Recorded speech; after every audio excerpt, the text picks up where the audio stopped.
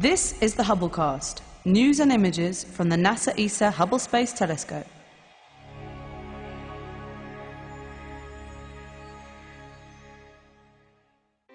The Large Magellanic Cloud, or LMC, contains many bright bubbles of glowing gas. One of the largest and most spectacular has the name LHA 120N11 from its listing in a catalogue compiled by the American astronomer and astronaut Karl Henize in 1956 and is informally known as N11. Close up, the billowing pink clouds of glowing gas make N11 resemble a puffy swirl of fairground candy floss. From further away, its distinctive overall shape led some observers to nickname it the Bean Nebula.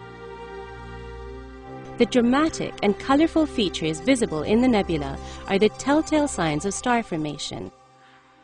N11 is a well-studied region that extends over 1,000 light-years. It is the second largest star-forming region within the LMC and has produced some of the most massive stars known.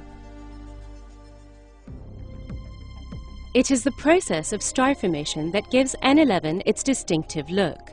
Three successive generations of stars, each of which formed further away from the center of the nebula than the last, have created shells of gas and dust.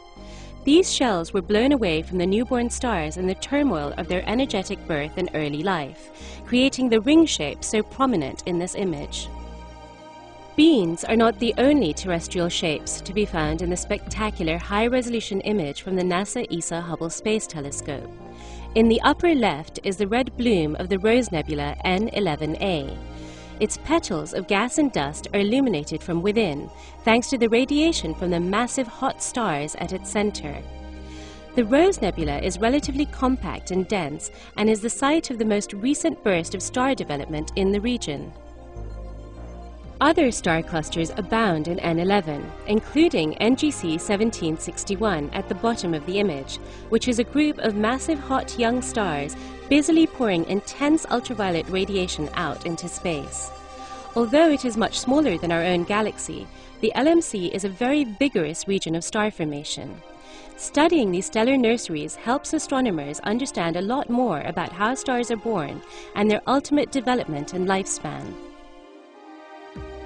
Both the LMC and its small companion, the Small Magellanic Cloud, are easily seen with the unaided eye and have always been familiar to people living in the southern hemisphere. The credit for bringing these galaxies to the attention of Europeans is usually given to Portuguese explorer Fernando de Magellan and his crew who viewed it on their 1519 sea voyage. However, the Persian astronomer Abdul Rahman al-Sufi and the Italian explorer Amerigo Vespucci recorded the bright galaxy in 964 and 1503 respectively.